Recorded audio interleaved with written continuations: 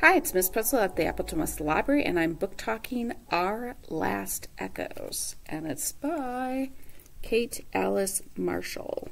So this is kind of labeled as a thriller, and so I was thinking, oh, it's a mystery book. It's horror. um, I I keep telling people, go like, what do you like to read? And I go, well, horror is not my genre, uh, but yet I've read a ton of horror books, and I've most of them I've really actually liked, but they creep me out.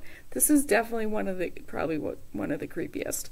Um, so Sophie is our main character, and she has gotten a summer internship on this Alaskan island called Bitter Island, uh, and the, there's an avian, meaning a bird sanctuary there, and uh, think of Alfred Hitchcock's The Birds.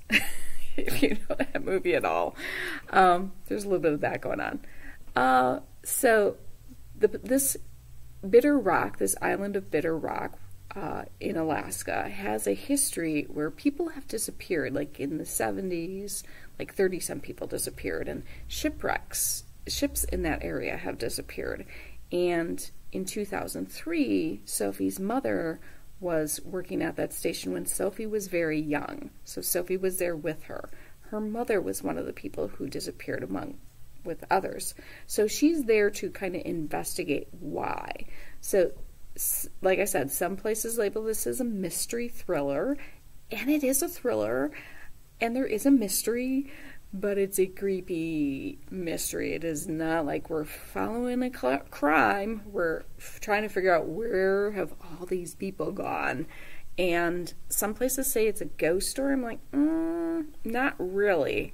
Um, this goes in a, I, I'm not giving it away, but this goes in a direction that I think people who like horror stories, yeah, I think you're going to like this one because this yeah, it it took me someplace I was like, whoa.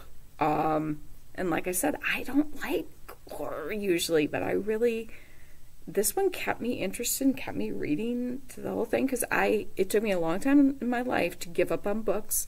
I did not give up on this one because I wanted to know like where it was going, and then when I found out where it was going, I'm like, how are they going to get out of this?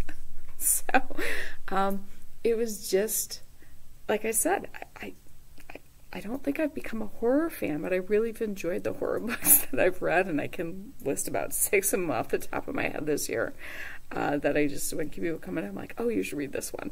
So um, if you like uh, creepy, scary, this is the most horror one I've read so far this year. Uh, and I started it because I thought it was a mystery.